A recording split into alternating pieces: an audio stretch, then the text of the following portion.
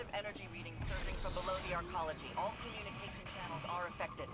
The Lucent Hive are forcing their way through from the Ascendant Plane. There's something else going on. The formations I'm seeing are indicative of some kind of mass ritual to... Guardian, community.